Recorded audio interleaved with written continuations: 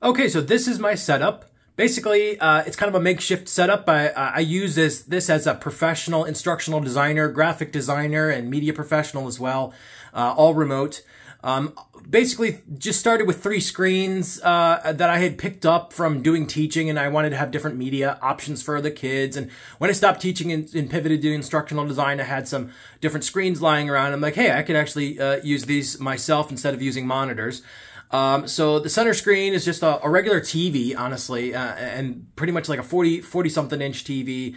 Uh, no, probably in the 30, 36 inches, I think. Then the, the left and right are small, uh, 18 inch, 17 inch screen monitors, uh, that were regular TVs as well at one point in time.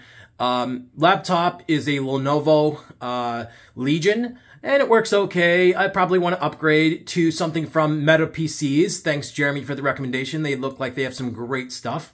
I also have a boom mic there uh, uh with a USB mic. Basically, it's a it's a simple mic. Uh, it works for what I want. I'll probably upgrade to a better uh, mics to be able to podcast and and capture sound on Zoom calls and such things.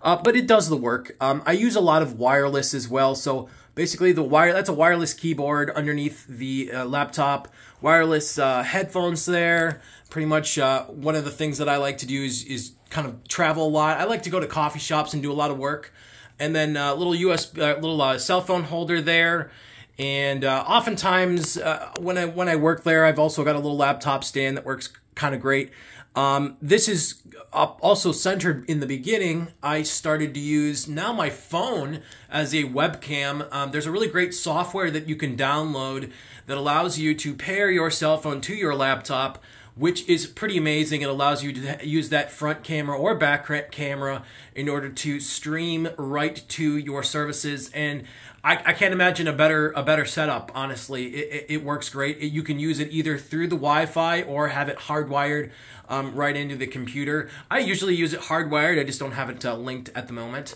Uh, and so that's pretty much my main setup there. My backdrop is actually right in front of us here, and so I was just kind of reaching around to show you. But my little backdrop there just to kind of hide the rest of my room. And my, uh, here's another angle at my setup there. Basically, uh, I, in doing instructional design, it's really great to be able to have all three, uh, three uh, side angles. Um, the other thing I can usually do for even for live streaming that I've tried to do a little bit of, and start getting started with that. Thanks, Jeremy, for encouraging that process. Uh, I just set up another camera here to be able to hit the whiteboard and do things like that. And then, uh, yeah, this got this this backdrop going on here. So this is my setup that I use um, for my business called Storyscape Design.